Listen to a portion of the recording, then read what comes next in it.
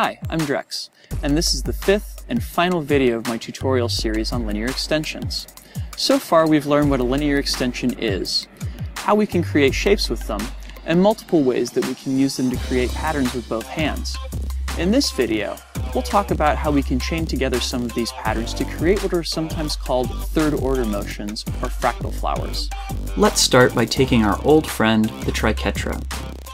We normally think of this pattern as having three sides of equal length.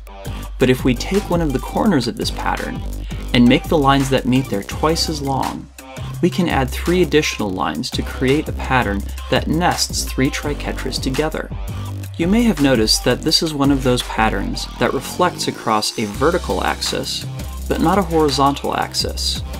So we can easily learn it in both together same, as well as together opposites.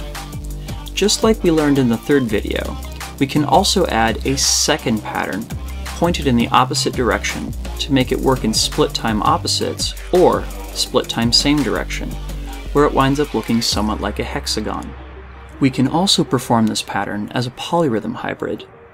Just like with the triquetra, start by repeating each segment two to four times before moving on to the next one, and work your way down to moving through each line only once.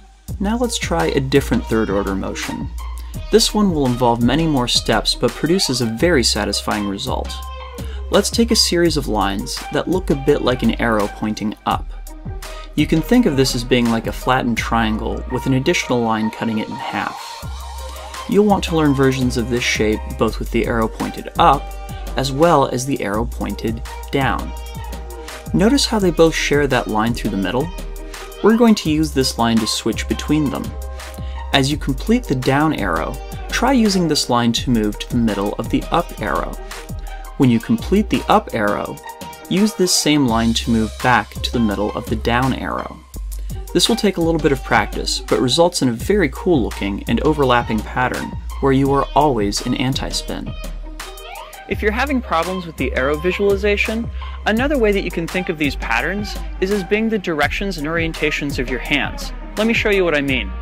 For together same, we can think of it as being both hands down, right, left, down, up, left, right, and up before returning down, which we find works just as well as thinking of it as two arrows that are chained together.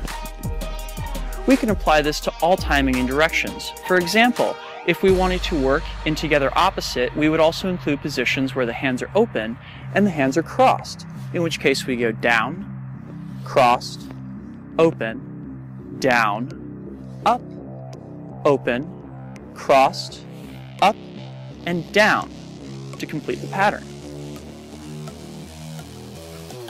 For split time opposites, we need to include a position where each hand is on top.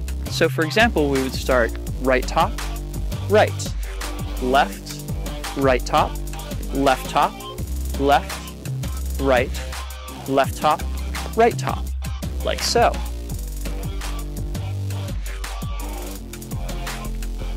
And finally, for split time same direction, we use the uh, special cases that we came up with in together opposite and split time opposite, and start left top, open, crossed, left top, right top, crossed, open, right top, and left top, like so. Don't stress it if you're not writing these down. I will include all these directions inside the description of the video.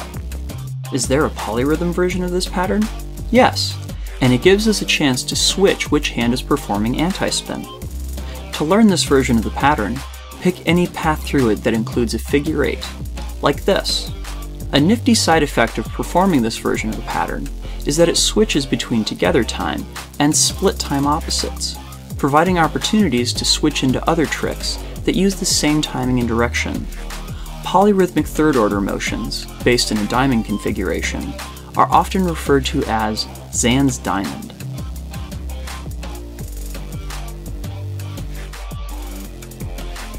And there you have it.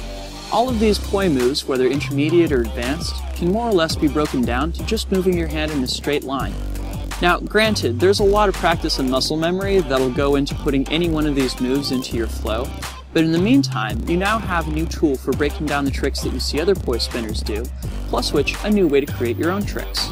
If you found this tutorial series helpful, please let me know by leaving me a comment on YouTube. If you'd like more information on any of the topics that I've covered in this series, please visit me on the web at drexfactor.com or subscribe to my YouTube channel. Thanks for watching and enjoy the flow. Peace.